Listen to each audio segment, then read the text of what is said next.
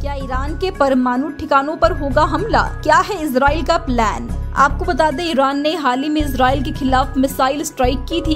इसके जवाब में इसराइल के पास ईरान के परमाणु ठिकानों पर हमला करने का मौका है, लेकिन वो ऐसा नहीं करेगा। इसकी जगह इसराइल ईरान के विभिन्न सैन्य ठिकानों पर बम बरसाएगा। न्यूयॉर्क टाइम्स में इससे जुड़ी रिपोर्ट सामने आई है। अमेरिका भी लगातार इसराइल से कहता रहा है कि वो ईरान के परमाणु ठिकानों पर हमला न करे। इसराइली अधिकारी सार्वजनिक रूप से कहते रहे हैं कि वो हमले का बदला लेंगे। उनका कहना है कि इस बार का बदला अप्रैल में किए गए जवाबी हमले से भी घातक होगा, तब ईरान का S three hundred missile defence system तबाह हो गया था। न्यूयॉर्क टाइम्स की रिपोर्ट के मुताबिक इसराइल न्यूक्लियर साइट पर हमले की जगह सैन्य ठिकानों या फिर सीक्रेट साइटों पर हमला करेगा।